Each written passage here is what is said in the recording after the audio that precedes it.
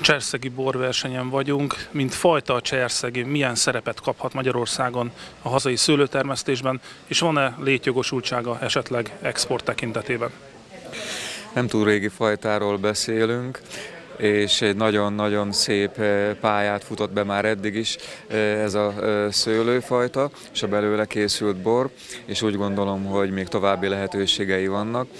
Ugye az országban 4200 hektáron terem ez a szőlőfajta, ebből 3200 hektár a kunsági borvidék területén, és ennek egy jelentős része itt Soltvatkerten, úgyhogy nem véletlenül nevezik Soltvatkertet, nem csak az ezer jó, hanem most már néhány éve a Cserszegi fűszeres hazájának is tehát ez egy nagyon-nagyon jellegzetes fajta, kiváló gyümölcs illatvilággal, aromavilággal, úgyhogy én úgy gondolom, hogy még további lehetőségek vannak ennek a fajtának mind belföldön, mind pedig külföldön.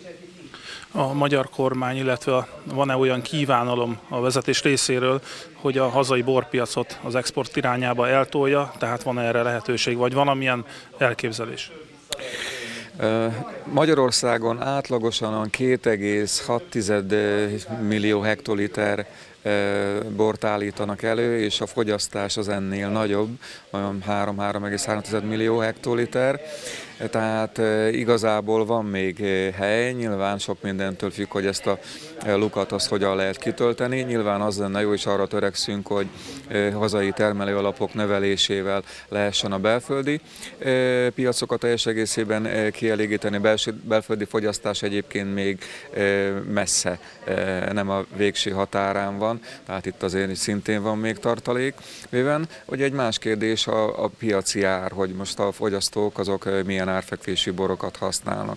Ugyanakkor a magyar exportnak is úgy gondolom, hogy van lehetősége, van jelentősége, mert vannak többfajta szegmensben nagyon kiváló boraink, magas árfekvésű borok is, amelyek különböző piaci réseket hivatottak betölteni, akár még mondjuk olyan nagy bortermelő országban is, mint Franciaország, nem beszélve azokról az országokról, ahol gyakorlatilag nincsen saját bortermelés, szőlőültetvény, mondjuk Lengyelország, vagy akár Csehországot is mondhatnám, ahol van kereslet a, a magyar borokra. Tehát itt meg kell találni a szereplőknek azokat a piaci réseket, piaci lehetőségeket, amivel adott fajtával, akár asztali borral, akár egy minőségi borral, tájborral meg lehet találni ezeket a piaci szegmenseket.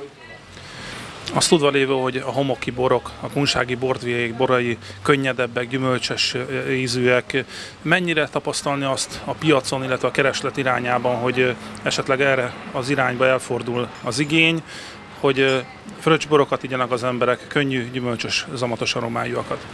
Ez ízlés kérdése, tehát én például a nagyon testes borokat egyáltalán nem kedvelem, tudom értékelni a minőségét, de én kimondottan a hagyományos alföldi borokat szeretem, mint a kadarkát, de az ezerjót is, és nem azért, mert Soltvatkerten vagyok, hanem tényleg kimondottan kellemes számomra, akár tisztán, akár nyári nagy melegben, fröccs formájában. Tehát ez tényleg ízlés kérdése. Nyilván, mint mindennél, minden termelésnél, amit utána áruként a piacon akarunk értékesíteni, piackutatást kell végezni.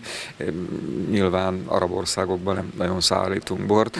Kínában is mondjuk speciális ízlés van, ott mondjuk a magyar bor az a, úgymond az elit rétegnél egy ilyen választékbővítést jelent, vagy náluk az sikkesnek számít, hogyha valaki európai terméket, nem csak bort fogyaszt, tehát ezeket tényleg be kell mérni, ez egy komoly szakma, és akkor utána ehhez alkalmazkodni kell. Azt hallani, hogy a behozott borok, a külföldről behozott borok nagyon rontják a hazai piacot, különösen Olaszországból jellemző ez. Tudnak-e ezzel ellen valamit tenni, illetve van még lehetőség, akár kormányzati szinten, vagy pedig valamilyen rendszer szabályozással ebben a dologban előrelépni, hogy a hazai termelők kerüljenek előnyös helyzetbe? Az olasz importbor az, ami igazából ugye gondot okoz itt ebben a térségben is és hát ennek a minőségét ezt nagyon sokan megkérdőjelezik. Nyilván arra vigyáznak, hogy, hogy azokat a paramétereket elérjék, amit a különböző uniós jogszabályok előírnak Ugye tavaly foglalkoztunk ezzel a kérdéssel, és a szakmával egyeztetve több megoldáson is dolgoztunk, amiből végül is az úgynevezett ellenőrzőjegy, az a 30 forintos literenkénti ellenőrzőjegy került bevezetésre, aminek úgy gondolom, hogy meg is lett az eredménye bár most már úgy tapasztaljuk, hogy kezdik kijátszani a, ezeket az egyszerű boroknak a magasabbra való minősítésével, próbálják kijátszani ezt a jogszabályt, illetve adminisztratív akadályokat építettünk a különböző behozatali engedélyeknek a határidejét, a korábbi 90 napról elnézést megdupláztuk, tehát kétszer 90 napra emeltük, tehát ez is egy komoly korlátot jelentett. Hát ilyen eszközök állnak a rendelkezésünkre, azért tudni kell, hogy az Unióban akármilyen piackorlátozó szabályzó rendszert nem lehet bevezetni, illetve ha bevezet adott tagállam, akkor kötelezettségszegési eljárás kerülhet bevezetésre. Én a magam részéről elég rugalmas vagyok e tekintetben, tehát a szakmának, hogyha vannak még konkrét javaslatai, akkor ezeket megvizsgáljuk. Most volt egy konferencia is, főleg ez, a, ez volt a téma, és nagyon sok olyan javaslat hangzott el, amit meg fogunk nézni, hogy kivitelezhető-e vagy sem, és próbálunk segíteni a hazai termelőknek, hogy megvédjük ettől a, a silány minőségű olasz importbortól őket milyen borokat sikerült, sikerült a mai napon kóstolni, lehet-e tudni valamit a minőségről, a fajtákról? Cserszegi fűszeres és írsai olivéreket, illetve azok házasításait kóstoltuk, főleg 14-es évjáratokat, az eredményeket még nem tudjuk, a, én csak a mi bizottságunkról tudok beszélni, nagyon sok szép gyümölcsös, illatos fehérborok voltak, talán a 14-es évjáratból eredően egy kicsit savasabbak, savhangsúlyosabbak voltak a borok az évjáratról beszéljünk egy picit. A 14-es évjáratból volt több, vagy pedig esetleg a korábbi, régebbi borokat is elhozták a borászatok? Mivel az írsa és a cserszegi fűszeres olyan fajta, amiben elsősorban fiatal borokat készítenek, igazából régebbi évjáratból csak egy-kettő volt elvétve, sőt nekünk volt egy kései születünk is, de főleg a 14-es évjárat. Mi jellemezte az elmúlt évet? Hát az elmúlt, a 14-es évjáratról sok mindent mondtak. Azért el kell mondani, hogy aki, aki a szőlőre oda tudott figyelni, és a borászati technológiát betartotta, igenis a 14-es évjáratból is nagyon szép élvezhető, kicsit talán hangsúlyosabb borokat lehetett készíteni, de mindenképp nem szabad leírni ezt az évjáratot. Tehát fehérborba, rozéba nem volt egy rossz évjárat mire kellett odafigyelni a borászoknak az elmúlt évben, hogy minőségi, finom, zamatos bort tudjanak készíteni? Hát elsősorban a szőlőre kellett odafigyelni, mert ugye nagyon sok csapadék miatt azért a rothadás már augusztus vége szeptemberbe beindult, de ha növényvédelmileg egész évben meg tudta őrizni egészségesen a szőlőt, akkor abban az utolsó időszakban, ha időben leszüretelte, akkor minden kisebb károsodással lehetett, le lehetett szüretelni a szőlőt, és szép borokat lehetett készíteni. A jó borok voltak-e többségben a mai napon, vagy pedig átlagosnak nevezhető az eredmény?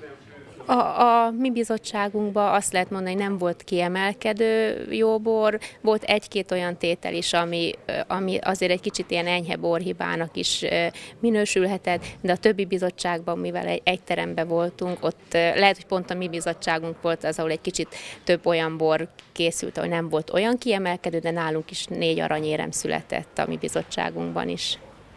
Említette, hogy borászkodással foglalkoznak, és van is cserszegi területük, hírsai terület esetleg. Mekkora területen dolgoznak ilyenfajta borokkal, és mennyire van piaca ennek a két fajtának Magyarországon, illetve esetleg még külföldön is?